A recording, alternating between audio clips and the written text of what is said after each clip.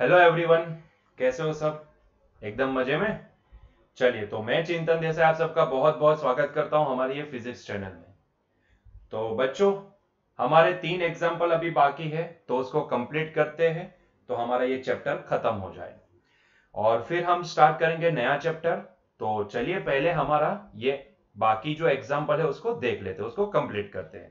तो एग्ज़ाम्पल 4.11 देखो बच्चों, क्या दिया गया है आपको क्वेश्चन में? ध्यान से देखो a 100 turn closely bound circular coil of a radius 10 centimetre carries a current of 3.2 ampere मतलब कि एक आपको सर्कुलर कॉइल दी गई है 100 टन है 10 सेंटीमीटर उसकी रेडियस है, और उसमें से 3.2 एम्पियर का करंट यहाँ से फ्लो कर रहा है। आपको इतनी चीज़ें दी गई है।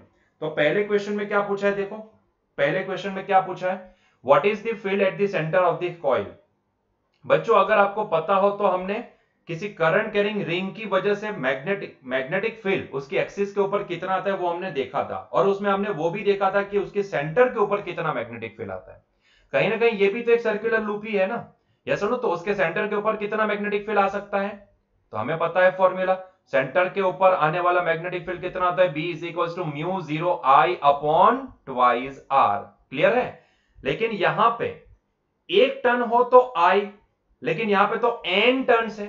तो टोटल एसोसिएटेड करंट कितना होगा? एन टाइम्स आई तो मैं इसको क्या लिखूँगा? एन टाइम्स आई सारी वैल्यू आपको प्रोवाइडेड है, यहाँ पे प्लेस करते जाओ। म्यू की म्यू ज़ीरो की वैल्यू होगी four pi into ten to the power minus seven N कितना दिया गया है? हंड्रेड और आई कितना है? Three point two ampere divide by two into R radius कितनी दी गई है? तो टेन सेंटीमीटर मतलब कि मैं इसको लिखना चाहूँ तो 0.1 लिख सकता हूँ। या सुन नो मीटर में उसको 0.1 लिख सकते हैं।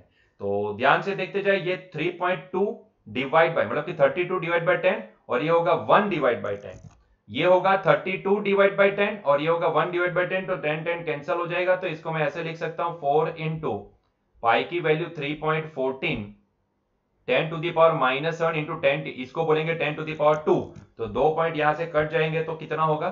Ten to the power minus five होगा। Into thirty two divide by two. Yes और नो टू सिक्सटीन जा थर्टी टू होता है। तो अभी जो बचा है, इसको मल्टीप्लाई वगैरह कर लेते हैं। तो अगर हम इसको मल्टीप्लाई वगैरह कर ले तो हमारे पास आएगा क्या? Four into three point fourteen multiply by sixteen. तो बच्चों, हमारे पास आएगा two hundred point ninety six. So it is two hundred 0.96 into ten to the power minus five तो बच्चों, अगर मैं इसको लिखना चाहूँ, दो पॉइंट यहाँ पे शिफ्ट कर दूँ तो मैं इसको लिख सकता हूँ 2.0096 2.0096 point double zero nine six two point double zero nine six into ten to the power minus three tesla ये सुन नो तो यहाँ पे इसको अप्रोक्सीमेटली अगर मुझे लिखना है तो ये मैग्नेटिक फ़ील्ड अप्रोक्सीमेटली मैं कितना लिख सकता हूँ? Two into ten to the power minus three tesla clear है? क्लियर है? चलो, ये एक काम तो खत्म। अभी दूसरे क्वेश्चन को देखते हैं। लेकिन दूसरे क्वेश्चन के लिए एक काम करते हैं, पहले पार्टीशन वगैरह कर लेते हैं। तो मैंने यहाँ से एक पार्टीशन कर लिया। ठीक है, चलो। तो आइए, दूसरे क्वेश्चन को देखते हैं। दूसरे क्वेश्चन में क्या पूछा है, देखो। What is the magnetic dipole moment of that coil भैया मैग्नेटिक डाइपोल मोमेंट कितनी होती है? तो मैग्नेटिक डाइपोल मोमेंट हमें पता है एन आई ए के बराबर होती है। है कि नहीं? तो मैग्नेटिक डाइपोल मोमेंट कितनी होगी? तो एन आई ए के बराबर होगी। तो यहाँ पे टोटल नंबर ऑफ़ टर्न्स मतलब कि 100 आई कितना है? 3.2 एम्पियर और ए कितना है? एरिया कितना होता है? लूप का pi r square circular loop है ना? तो पाई आर स्क्वायर तो सारी वैल्यू यहाँ पे है तो उसको प्लेस कर दो। ये 3.2 मल्टीप्लाई बाय हंड्रेड होगा तो 320 हो जाएगा। पाई का वैल्यू 3.14 और ये जो हमारे पास आर स्क्वायर है आर 0.1 मीटर होगी उसका स्क्वायर तो जल्दी से इसको भी मल्टीप्लाई वगैरह कर लेते हैं तो हमें इसका आंसर भी पता चल जाएगा। So so, 320 multiply by 3.14 multiply by 0.1 multiply by 0.1 तो कितना आया? 10.048 एम्पियर इनटू मीटर स्क्वायर कितना आंसर मिला? 10.048 10.048 एम्पियर इंटू मीटर स्क्वायर बच्चों, इसको भी हम अप्रोक्सीमेटली कितना लिख सकते हैं? Approximately 10 ampere into metre square लिख सकते हैं। क्लियर है? क्लियर है? चलो। उसके बाद क्या बोला है? ध्यान से देखते जाओ। पार्टीशन वगैरह कर लेते हैं, उसके बाद आगे बढ़ते हैं। तो उसके बाद क्या बोला है? ध्यान से देखना। मैं इसका पार्टीशन यहाँ तक कर देता हूँ, ठीक है? चलो, आ जाओ। इसके बाद सी में क्या बोला है? सी से सी को सॉल्व करने से पहले पहले जो इंफॉर्मेशन दी है, उसको ध्यान से देखो। दॉल is place in a vertical plane and is free to rotate about a horizontal axis which coincides its diameter a uniform magnetic field of two tesla in the horizontal direction exist such that initially the axis of the coil is in the direction of the field. The coil rotates through an angle of 90 degree under the influence of the magnetic field. Then question C. What are the magnitudes of the torque on the coil in the initial and final position? तो उस coil के ऊपर torque कितना लगेगा? Initial and final position में। Yes और no मतलब कि इनिशियल जो भी होगी एंड फाइनल जो भी होगी, वो पोजीशन में उसके ऊपर टॉर्क कितना लगेगा? अभी कौन सी इनिशियल होगी, कौन सी फाइनल होगी, वो भी देखते हैं, लेकिन पहले बच्चों, इसके ऊपर लगने वाला टॉर्क में कितना लिख सकता हूँ? तो क्या आपको टॉर्क का फॉर्मूला पड़ता है? टॉर्क इज़ इक्वल टू क्या होता है? M vector cross product with b vector याद आया कुछ? मतलब कि अगर मैं सिर्फ़ मैग्नीट्यूड लिखना चाहूँ तो इसका मैग्नीट्यूड क्या लिख सकता हूँ? It is m b sine theta है कि नहीं? क्या मैं इसका मैग्नीट्यूड ऐसे लिख सकता हूँ? एम बी साइन थीटा जी बिल्कुल। आप एम बी साइन थीटा लिख सकते हो। यस और नो चलो इनिशियल पोजीशन कैसी है? देखो, ध्यान से पढ़ो। फाइनली उसकी जो पोजीशन होगी वो 90 डिग्री एंगल बनाएगी। मतलब कि इनिशियली जो भी होगी, तब ज़ीरो एंगल बनेगा। मैं यहाँ पे दिखाता हूँ आपको कैसी सिचुएशन होगी इनिशियली सो इनिशियल सिचुएशन कुछ ऐसी होगी. इनिशियल सिचुएशन कुछ ऐसी होगी. ध्यान से देखो. तो मान लो कि ये हमारी कॉइल है. अभी एक ही टर्न दिखा रहे हैं. और ये डायरेक्शन में हॉरिजॉन्टल डायरेक्शन में मैग्नेटिक फ़ील्ड है. और आपको पता है कि इसका एरिया वेक्टर कौन सी डायरेक्शन में आएगा? तो यही फ़ील्ड की डायरेक्शन में। और हमें ये भी पता है बच्चों, आपको भी पता है कि जिस डायरेक्शन में इसका एरिया वेक्टर होता है, उसी डायरेक्शन में मैग्नेटिक डाइपोल मोमेंट भी होती है। मतलब कि ये वाले केस में दिस इज़ द इनिशियल तो ये वाले केस में एंगल कितना बनेगा? ज़ीरो डिग्री कितना होगा एंगल ज़ीरो डिग्री तो आइए, यहाँ पे टॉर्क कैलकुलेट करते हैं तो ये वाले केस में टॉर्क कितना होगा? टॉर्क होगा m into b into sine zero के बराबर। मतलब कि कितना आएगा? ज़ीरो टॉर्क कुछ भी नहीं लगेगा ज़ीरो क्योंकि एंगल ज़ीरो है। यस और no magnetic dipole moment and magnetic field दोनों एक ही डायरेक्शन में है, दोनों पैरेलल है तो यहाँ पे टॉर्क नहीं लगेगा। और फाइनल पोजीशन कैसी होगी? तो अगर हमें यहाँ पे फाइनल पोजीशन दिखाऊँ आपको तो फाइनल पोजीशन बोला है यहाँ पे 90 डिग्री का एंगल बना रहा है। यस नो तो ये होगी फाइनल पोजीशन मान लो कि ये लूप है तो ये डायरेक्शन में मैग्नेटिक फ़ील्ड है। और उसका एरिया वेक्टर ये डायरेक्शन में होगा और आपको पता ही है कि जिस डायरेक्शन में एरिया वेक्टर होता है in the same direction you will get that magnetic dipole moment vector ठीक है? तो ध्यान से देखो एंगल कितना बना 90 डिग्री बना।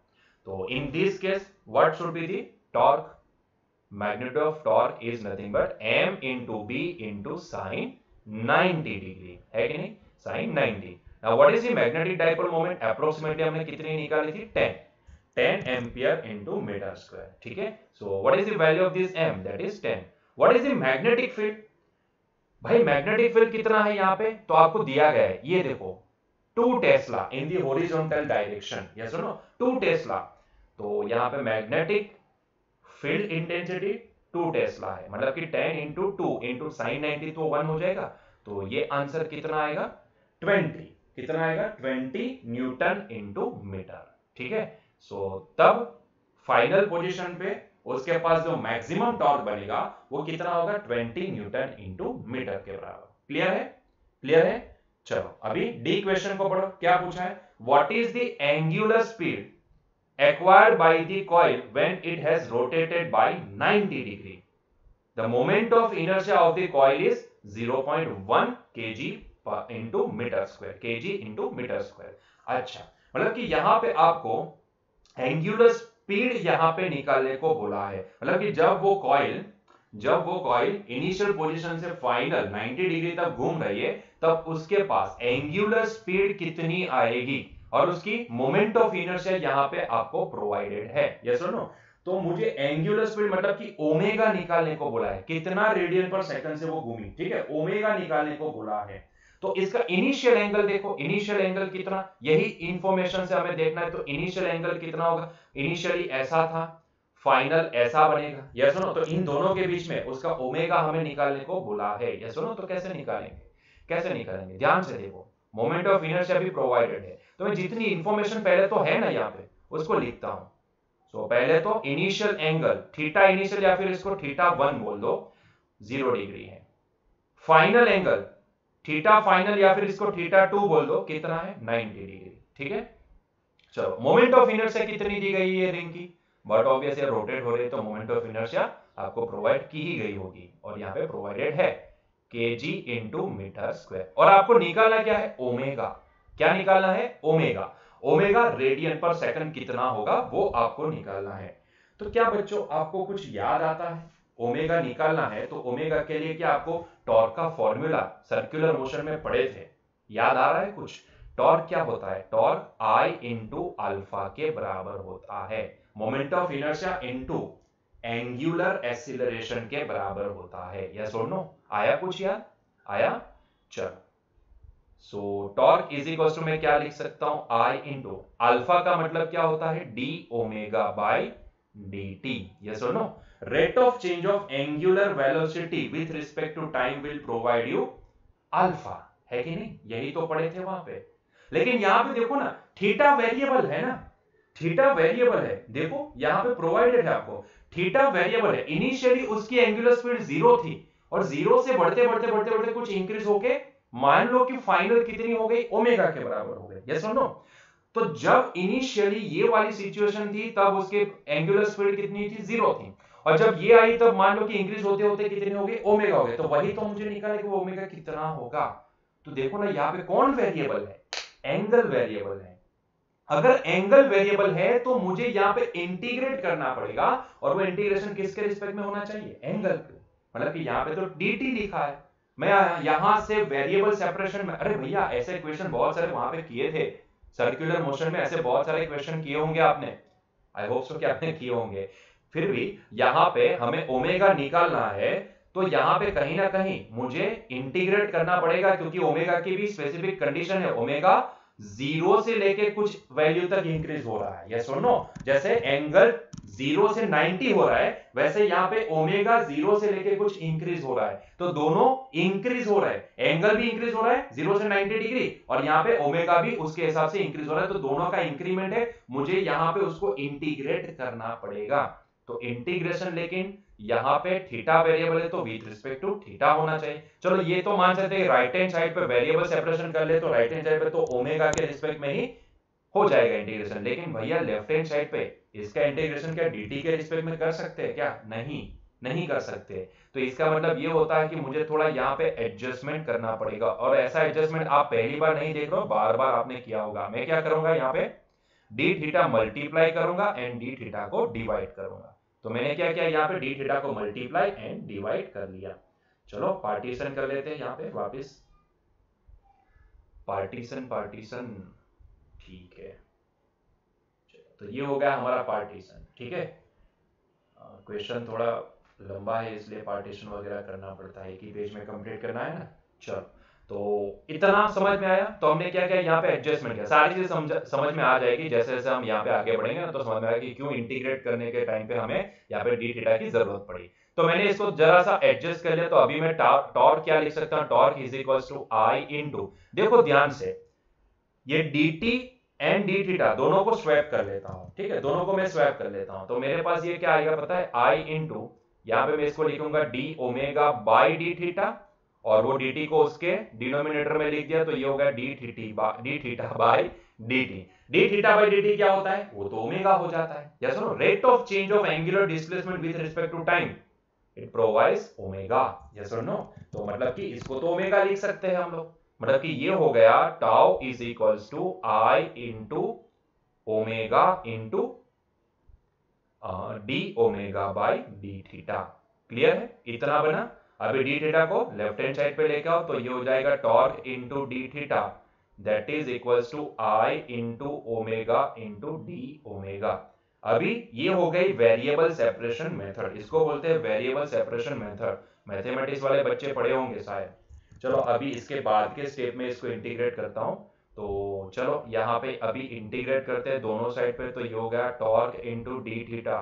That is equal to moment of inertia constant है तो इसको बाहर ले लेते हैं। तो इसको हमने इंटीग्रेशन से बाहर कर दिया। ये हो गया integral omega d omega yes और नो तो लिमिट कहाँ से कहाँ जाएगी? थीटा की, क्योंकि इसका इंटीग्रेशन थीटा के रिस्पेक्ट में होगा तो थीटा की लिमिट जाएगी यस बोलो। थीटा की लिमिट जाएगी थीटा वन से थीटा टू ठीक है? थीटा वन से थीटा टू है कि नहीं? लेकिन वो थीटा वन क्या है? हमारे लिए ज़ीरो है। और थीटा टू कितना है? यहाँ पे 90 डिग्री है। तो इसीलिए मैंने डायरेक्टली लिमिट लगा दी। यहाँ पे ओमेगा की वैल्यू तो ज़ीरो से स्टार्ट होके लेट से फाइनल बनेगी ओमेगा ठीक है? फाइनल कितना ओमेगा बना? तो ओमेगा के बराबर। तो हमने यहाँ पे देखा कि जैसे ही एंगल ज़ीरो से 90 डिग्री चेंज हो रहा है, वैसे यहाँ पे ओमेगा भी ज़ीरो से ओमेगा तक चेंज हो रहा है। और वो ओमेगा हमें चाहिए। ये सुनो तो इसीलिए यहाँ पे इंटीग्रेट करेंगे, लेकिन इंटीग्रेट करने से पहले बच्चों, ये टॉर्क मैं रिप्लेस कर देता हूँ एम बी से, ठीक है? टॉर्क मैं रिप्लेस कर एम बी नहीं एम बी साइन थीटा से, ठीक है? एम बी साइन थीटा से। So, it is mb sin theta, d theta, that is equals to i integral zero से लेके ओमेगा ओमेगा डी ओमेगा तो यहाँ से मैं एम बी को कॉमन ले सकता क्योंकि एम एंड बी तो कांस्टेंट है। मैग्नेटिक डाइपोल मोमेंट की वैल्यू कांस्टेंट, यहाँ पे जो मैग्नेटिक फ़ील्ड आपको प्रोवाइडेड है टू टेस्ला, वो भी तो कांस्टेंट है। तो दोनों तो कांस्टेंट हो गए, कांस्टेंट बाहर आ गया, साइन थीटा का इंटीग्रेशन क्या होगा? माइनस कॉस थीटा होगा। एंगल कहाँ से कहाँ वेरी कर रहा है? ज़ीरो से लेके 90 डिग्री तक, ठीक है? उसी तरह यहाँ पे आई इंटू ओमेगा का integration with respect to omega क्या होगा? ओमेगा स्क्वायर बाय टू होगा। यस नो ज़ीरो से लेके ओमेगा क्लियर है?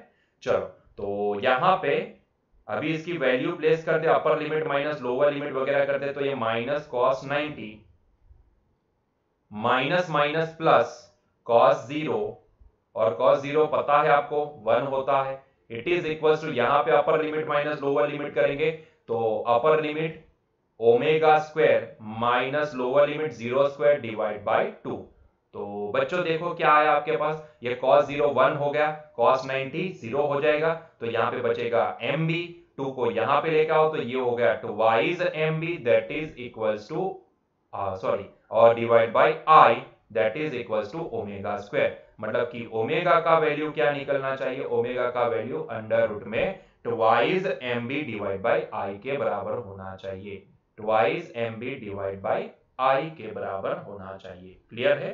मतलब कि मतलब कि मैं यहाँ पे सारी वैल्यू प्लेस कर दूँ तो ये हो जाएगा अंडर रूट में टू इंटू एम का वैल्यू कितना निकाले थे हम? यहाँ पे देखो डाइपोल मोमेंट कितना आया था? हाँ ऑटो सेव में चला गया। हाँ ये टेन टेन वैल्यू निकाले थे। तो ये हो गया टेन इंटू ध्यान से देखो, यहाँ पे मैग्नेटिक फ़ील्ड कितना प्रोवाइडेड है? ये वाली सिचुएशन में टू टेस्ला तो हम इसकी वैल्यू लिखेंगे two tesla divide by moment of inertia कितना दिया गया आपको? 0.1 ठीक है, कितना दिया गया 0.1 तो जरा इसको कैलकुलेट वगैरह कर लेते हैं। तो 0.1 मतलब कि 1 बाई टेन और 10 गया ऊपर न्यूमिनेटर में तो ये हो जाएगा 400 ठीक है सिंपल सी बात है अंडर रूट फोर हंड्रेड देखो ना, ये वन बाई टेन होगा ना, ये वन बाई टेन न्यूमिनेटर में चला गया तो टेन टेन सा हंड्रेड हो जाएगा टू टू सा फोर फोर इंटू हंड्रेड कितना? Four hundred under root four hundred कितना होता है? बोलो under root four hundred twenty होता है तो ये हो गया ट्वेंटी रेडियन पर सेकंड मतलब कि इतना ओमेगा वो अचीव करेगा। ज़ीरो से लेके फाइनली इतना। जब भी वो 90 डिग्री पर सेट होगा, तब तब ये वाली सिचुएशन में फाइनल पोजीशन में उसका ओमेगा कितना होगा? ओमेगा होगा यस 20 रेडियन पर सेकंड क्लियर हुआ? क्लियर है? 20 रेडियन पर सेकंड क्लियर है? तो बस यहाँ पे वो सारा जरा टॉर्क का जो हम 200 साल पहले पढ़े थे इलेवन स्टैंडर्ड में वो फॉर्मूला यहाँ पे थोड़ा यूज़ होगा। क्लियर है? बहुत ही सिंपल क्वेश्चन है। क्लियर चलो, आगे बढ़ेगा नेक्स्ट क्वेश्चन 4.12 हाँ वैसे तो हमने बोला था कि आप खुद से समझ सकते हो, लेकिन फिर भी चलो समझा देते हैं। सॉल्यूशन नीचे, वैसे हमने वहीं से स्क्रीनशॉट ले लिया है। ध्यान से देखते जाओ। A current carrying circular loop lies on a smooth horizontal plane मान लो कि ये लूप है। ये लूप स्मूथ हॉरिजॉन्टल प्लेन में रखी हुई है। इसको ये फिगर को देखते जाओ। ठीक है? स्मूथ हॉरिजॉन्टल प्लेन पे रखी हुई है।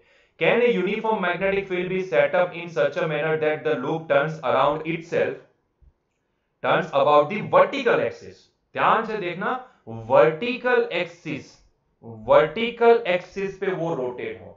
भैया, इतना समझ में आता है मुझे कि जब भी मैं किसी लूप को मैं कहीं पे भी कोई प्लेन में रखता हूँ उसको रोटेट कराने की कोशिश करता हूँ तो उसका जो एक्सिस ऑफ़ रोटेशन होगा ना रोटेशन एक्सिस वो उसी प्लेन में आएगा। यहाँ पे बोला है कि वर्टिकल मतलब कि ये एक्सिस पे इसको रोटेट करवाना। तो ये तो कैसे हो पाएगा? ऐसा कोई फ़ील्ड हम जनरेट नहीं कर सकते समझ में आ रहा है? ऐसा कोई फ़ील्ड हम जनरेट नहीं कर सकते इसका जो एक्सिस ऑफ़ रोटेशन होगा ये देखो ये रोटेशन एक्सिस ऑफ़ रोटेशन वो उसी प्लेन में होगा तभी तो वो रोटेट हो, हो पाएगा। या सुनो आपको क्या बोला है? आपको हॉरिजॉन्टल प्लेन में नहीं ऐसा वर्टिकल प्लेन में ऐसी कोई एक एक्सिस है, उसके अराउंड रोटेट करना है। खुद ही सोचो, क्या ये हो पाएगा? नहीं हो पाएगा। ऐसा कोई फ़ील्ड हम यहाँ पे जनरेट नहीं कर सकते हैं। एक्सिस ऑफ़ रोटेशन उसी प्लेन में होगा। ठीक है? उसी प्लेन में होगा। ये सुनो तो ये पॉसिबल नहीं है। तो यहाँ पे वो सारी चीज़ें हमने सॉल्यूशन में लिखी है। हमने नहीं मतलब क्या यहाँ पे प्रिंटेड फॉर्म में दी गई है। क्लियर है? नेक्स्ट क्या पूछा है? Current carrying circular loop is located in uniform external magnetic field if the loop is free to turn what is its orientation of stable equilibrium so that in this orientation the flux of the total field external field plus field produce by the loop is maximum yes no मतलब कि यहाँ पे बोला है कि कब ये current carrying loop जो भी होगी, यहाँ पे सर्कुलर बोला है, लेकिन हमने हमारी ये जो फिगर है रेक्टेंगुलर लूप की, वही यहाँ पे कंसिडरेशन में मैंने ले ली है। बाकी यहाँ पे आपको सर्कुलर बोला है। यस सुनो आपको समझा सको, इसके लिए हमने ये देखा है। तो बच्चों, जब यहाँ से टॉर्क स्टार्ट हुआ ना, लगना स्टार्ट हुआ, तब क्या आपने यहाँ पे देखा? तब ये एंगल क्योंकि ये जो एम है ना एम वही डायरेक्शन में मैग्नेटिक डायपोल में, उसी डायरेक्शन में उसका एरिया वेक्टर होता है। तो क्या आपने तब देखा था? यहाँ पे एंगल क्या था? मैग्नेटिक फ़ील्ड और इसके बीच का angle magnetic field and area vector के बीच का एंगल तब कितना था? 90 डिग्री था। ये सुनो अभी सोचो, वो अभी लुक क्योंकि तब अभी इसके ऊपर कुछ करंट सॉरी यहाँ पे फोर्स लग रहा है, ठीक है? ये वाली लाइन के ऊपर मान लो कि ये डायरेक्शन में फोर्स लगा और ये वाली जो इसकी लाइन है, उसके ऊपर नीचे की डायरेक्शन में फोर्स लगा, जिसकी वजह से वो ये डायरेक्शन एंटी क्लॉकवाइज डायरेक्शन में रोटेट कर रहा है। अभी रोटेट होते होते होते होते एक टाइम ऐसा आएगा कि जब वो परफेक्टली ऐसे कुछ अरेंज हो जाएगी। है कि नहीं? ऐसे कुछ अरेंज तब इसका जो मैग्नेटिक फ़ील्ड है ना, उसी डायरेक्शन में उसका एरिया वेक्टर अरेंज हो जाएगा। यस नो और जब ऐसा केस बनेगा ना बच्चों, तब यहाँ पे area vector and magnetic field दोनों के बीच का एंगल क्या हो जाएगा? मैंने बोला ऐसे अरेंज हो जाएगी। ध्यान से देखो, यहाँ पे ड्रॉ करता हूँ। वो ऐसे अरेंज हो जाएगी। तो इसका एरिया वेक्टर भी यही डायरेक्शन में एंड मैग्नेटिक फ़ील्ड भी यही डायरेक्शन में। यस नो है कि नहीं? तो ऐसा एक केस बनेगा जहाँ पे ये यूनिफॉर्म एक्सटर्नल फ़ील्ड के अंदर ये ऐसे अरेंज हो जाएगी कि जब उसमें area vector and magnetic field के बीच का एंगल क्या हो जाए? सेम हो मतलब कि दोनों पैरल हो जाए। एंगल ज़ीरो हो जाए। इसको हम बोलेंगे स्टेबल इक्विलिब्रियम स्टेट मतलब कि यहाँ पे अभी इसके ऊपर टॉर्क लगना ज़ीरो हो जाएगा। टॉर्क ज़ीरो हो जाएगा, क्योंकि आपको पता है टॉर्क क्या होता है? एम इंटू बी अरे सोचो ना एरिया वेक्टर नहीं लिखो तो यहाँ पे एम मान लो। इसको मैं एम मान लेता हूँ। एरिया की जगह पे मैग्नेटिक डाइपोल मोमेंट मान लेता हूँ। तो भैया एम और बी का एंगल दोनों के बीच एंगल जब ज़ीरो हो जाएगा रोटेट होते होते, एक टाइम आएगा ना ऐसे, इसका भी एक टाइम ऐसा आएगा कि वो रोटेट एंटी क्लॉकवाइज रोटेट हो रहा है तो धीरे धीरे रोटेशन के बाद एक टाइम ऐसा है कि जब वो जब वो यहाँ पे फिल इसका जो मैग्नेटिक डायपोल मोमेंट है, या फिर area vector and magnetic field दोनों पैरेलल हो जाएँगे, ठीक है? अभी 90 है तो मैक्सिमम टॉर्क लग रहा है। जैसे वो पैरेलल अरेंज हो जाएँगे तब उसके ऊपर टॉर्क लगना ज़ीरो हो जाएगा। और नेट फोर्स जब भी, यहाँ पे रोटेशनल फोर्स है ना टॉर्क को रोटेशनल फोर्स बोलते हैं। तो यहाँ पे जब भी नेट फोर्स ज़ीरो होता है, तब हम इसको स्टेबल इक्विलिब्रियम स्टेट बोलते हैं। ठीक है? तो तब कुछ ऐसी सिचुएशन होगी। तब यहाँ पे एंगल दोनों के बीच का क्या बनेगा? एंगल दोनों के बीच का ज़ीरो बन जाएगा टॉर्क भी ज़ीरो हो जाएगा। और तब आप समझ सकते हो कि मैक्सिमम फ़ील्ड लाइन यहाँ से पास हो जाएगी। ऐसा नो मैक्सिमम फ़ील्ड लाइन यहाँ से पास होगी। तो यही सिचुएशन आपको पूछी है। क्लियर है? क्लियर है? और आखिरी सवाल क्या पूछा है? Loop of irregular shape carrying current is located in a external magnetic field if the wire is flexible then why does it change to a circular shape देखो हमने ये तो नोटिस किया है कि uh, ये जो लूप होती है ना उसके ऊपर फोर्स लगता है मैग्नेटिक फोर्स लगता है। और वो मैग्नेटिक फोर्स अगर वो वायर फ्लेक्सिबल है तो उसके शेप को भी चेंज कर सकता है। बच्चों हमेशा याद रखो कि जब भी ये अरेंजमेंट होती है और वो वायर फ्लेक्सिबल है तो हमेशा उसके ऊपर फोर्स कुछ ऐसे लगेगा ताकि वो लूप को ऐसी एक फिगर में कन्वर्ट कर पाए ताकि उसमें से मैक्सिमम फ्लक्स पास हो। या सुनो मैक्सिमम फ्लक्स पास हो। और हम मानते हैं कि मैक्सिमम फ्लक्स किसके पास होता है? सर्क्यूलर शेप के पास। तो वो जो अनइवन शेप होगा ना, उसके ऊपर फोर्स लग के वो अरेंज तो होगी, लेकिन उसके ऊपर फोर्स लग के लग के वो कौन से शेप में कन्वर्ट हो जाएगी? सर्क्यूलर शेप में कन्वर्ट हो जाएगी, क्योंकि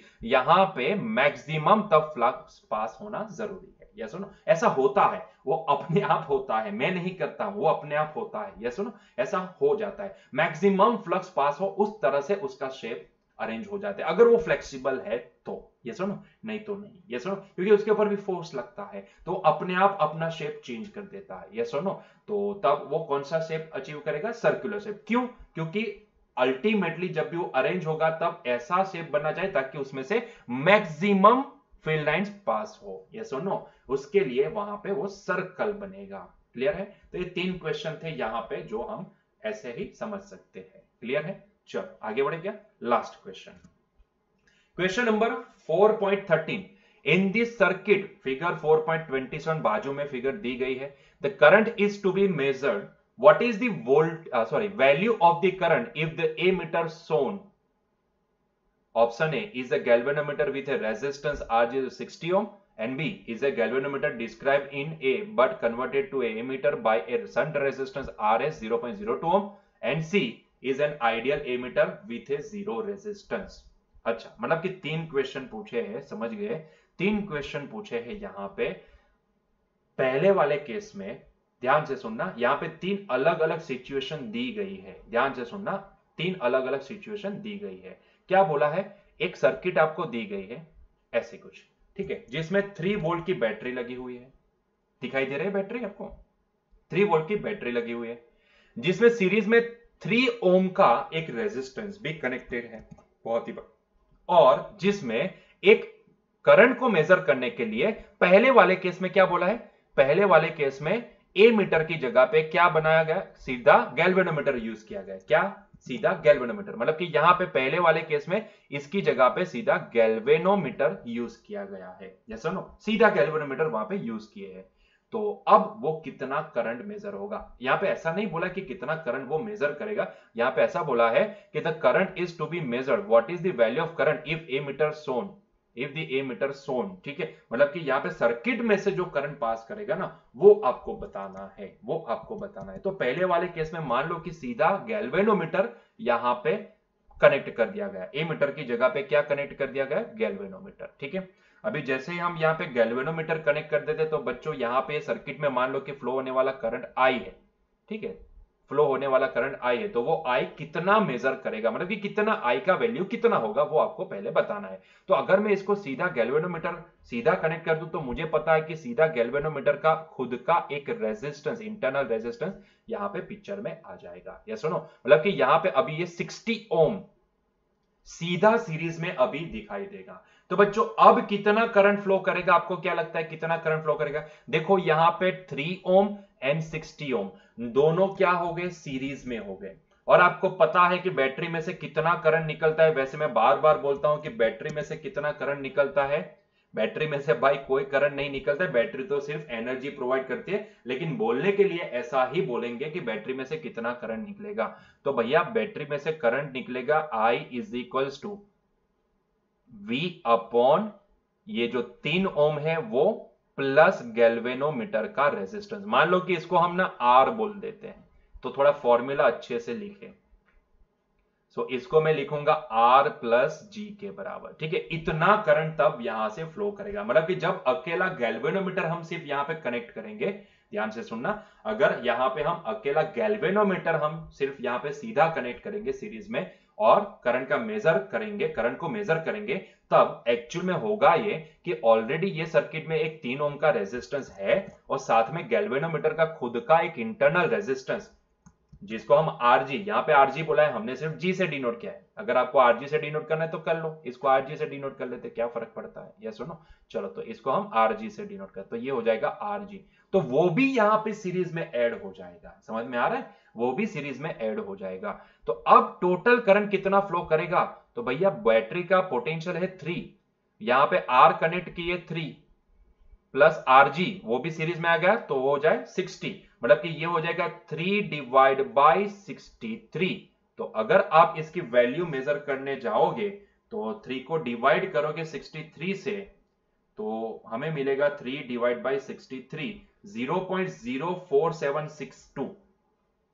Zero point zero four seven six two ampere. तो मुझे कितना मिला? Zero point zero four seven six two ampere. तो तब प्रैक्टिकली देखने जाए तो यहाँ पे इतना करंट फ्लो करेगा। यहाँ पे इतना करंट फ्लो करेगा।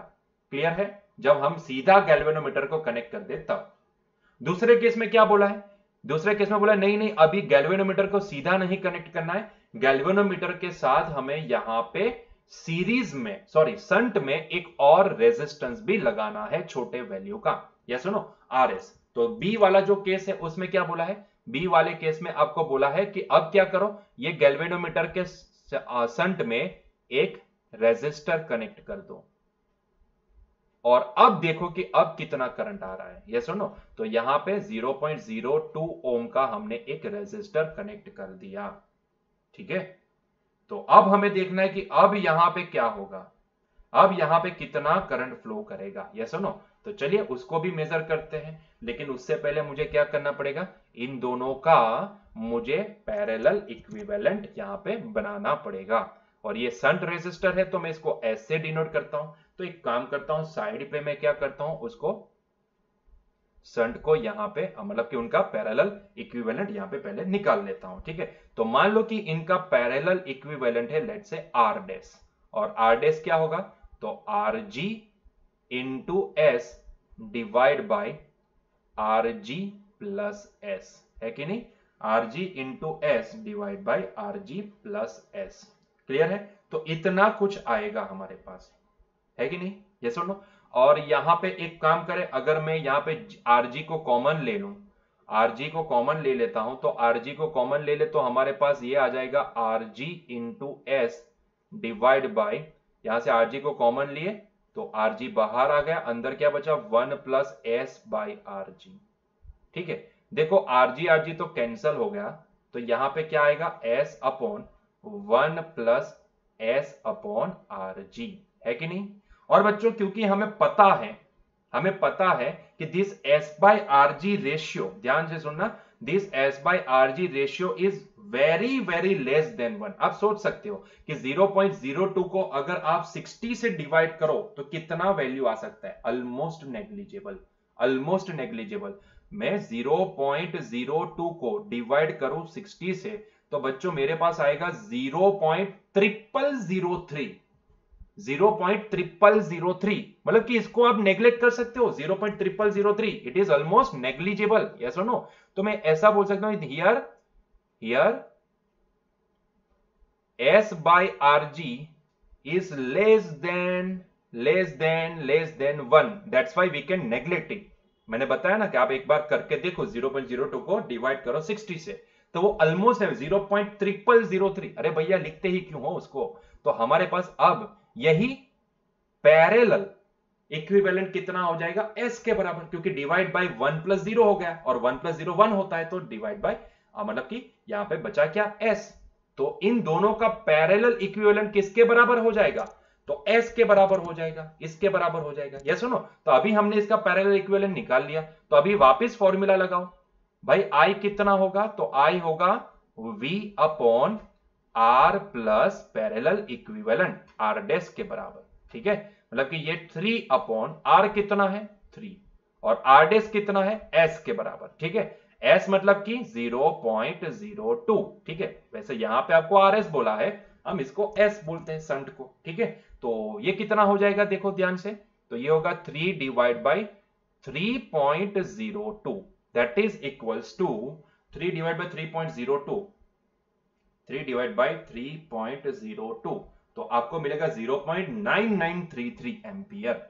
0.9933 एम्पियर, ठीक है? तो ये आएगा 0.9933 एम्पियर। क्लियर है?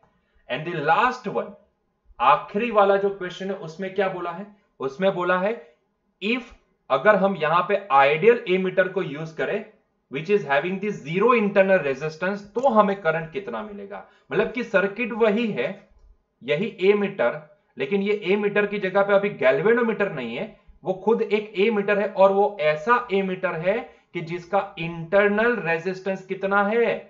ज़ीरो है यस और नो मतलब कि ये ऐसा ए मीटर है जो सीरीज़ में कनेक्ट होने के बाद भी अपना इंटरनल रेजिस्टेंस इसको मैं स्मॉल आर से डिनोट करता हूँ, ठीक है? वो ज़ीरो रहेगा मतलब कि यहाँ पे पिक्चर में सिर्फ़ अकेला ये आर ही पिक्चर में आएगा यस और नो तो अब ये वाले केस में यहाँ पे कितना करंट सर्किट में फ्लो करेगा, ठीक है?